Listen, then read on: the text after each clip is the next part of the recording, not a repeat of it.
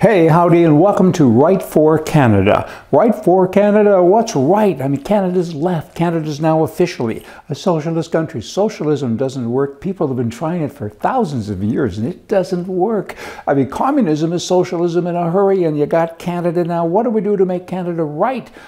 Right I don't like the political connotation with right. I like right versus wrong. And I think Canada's on the wrong path. It truly is. I mean, let's go back to Upper Canada and Lower Canada. Am I a separatist? Absolutely. Because the 416 area codes, I'm talking 416 and 905, they govern everything that we do out west. Everything. I mean, I remember when I was a young guy. I mean, I don't think I was 21 yet, and they just changed the voting age down to 18. And I raced to vote for the first time. And before I got to the poll, it was about 7.30, quarter to 8 at night, closed at 8. Before I got there, they announced the prime minister of the country. And I thought, wow, how's this happen? they don't care about us. They don't care about us one bit, not one bit. Uh, we have to change Canada. How do we do that? In the West. We can make changes. I mean, we can do that. Look at the media, the press, the liberals, they own it effectively. They certainly control it. I think the number's upwards to 75, maybe $80,000 per person in the press that is subsidized or paid by the liberal government. Hitler did that. He bought everybody a transistor radio and then he gave the message to them. He did all the messaging. So what's the point? Hey, there's a big point if you're on that side, I guess, because for some reason they want to take our rights away and they dumb us down and it's not nice. Are there any press places left in Canada that, that aren't subsidized?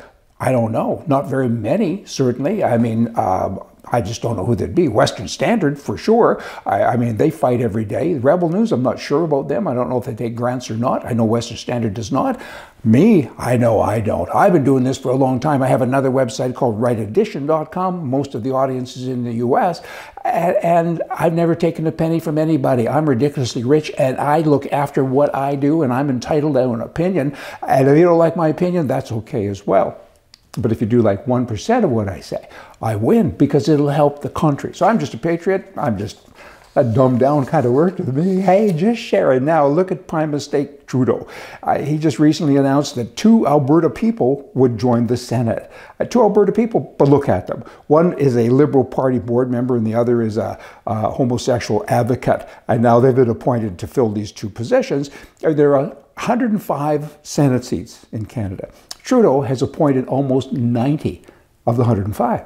That means that his legacy is there long after he dies. His father did the same thing. I mean, the country was ruled by judges for 30, 35 years after he left office because he put everybody in place. Don't screw up my communist system, right? Us pinkles, we got to stick together. And that's what this guy has done because it's nice to hear that we get a conservative government. They'll fix things. Can they? I don't know. You have to go through the House and then you have to go through the Senate. How do you get through the Senate when they're all appointees from the commies, right? Wow. I mentioned homosexuals, so let me do more of that. The Toronto Dominion Bank. I left them years ago because I can't handle it. I, I don't care what you do in your life. Go marry a bale of hay and I could care less. That's your right. But it's my right to say that you can't bring your bale of hay into my house, right? Right? Right? Are you with me? We all have to have rights, and the governments work hard at taking those rights away. Toronto Dominion Bank, they're into the homosexual thing. I mean, you walk into the bank, stand in line, have videos of men hugging and men kissing. I go there to bank. I don't go there to, to enjoy or see somebody else's lifestyle. They have signage outside. They have all the rainbow things. And here's what they say with the wordage on a window. There is no better feeling than being accepted for who you are. Okay, I get that and I agree. What about me? What about me? I'm a gun guy. I want to open up a bank account.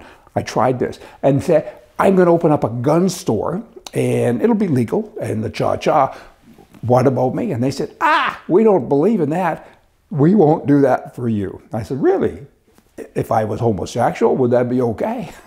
Probably would be. You get the point. It's all about freedom. So it does come down, particularly in the West. We all need to look at this thing in a real different way. Right is right, left is wrong. Hey, you all come back.